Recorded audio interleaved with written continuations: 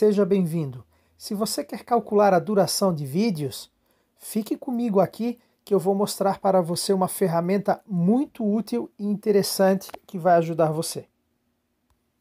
Na descrição desse vídeo eu vou deixar um link que vai trazer você direto para essa página. É uma calculadora de minutos. Ela funciona assim. Nós temos aqui seis quadros, onde vocês vão colocar os tempos.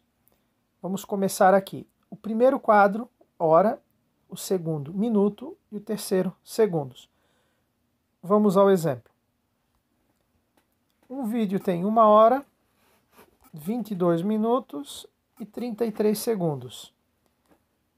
Eu venho aqui embaixo em guardar alto, clico para ele salvando o resultado.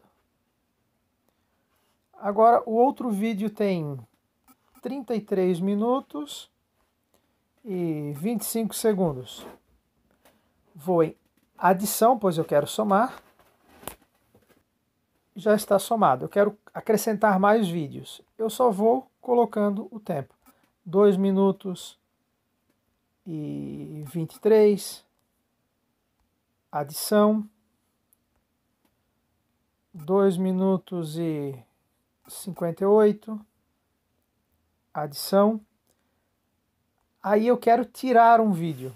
Vou tirar esse que eu coloquei de 2,58. 2,58 subtração. Aqui já sai o resultado final da soma de todos os vídeos. Espero ter ajudado. Se você gostou, deixe seu like. Se ainda não está inscrito em nosso canal, se inscreva e não esqueça de ativar o sininho das notificações para ficar por dentro de todas as nossas novidades.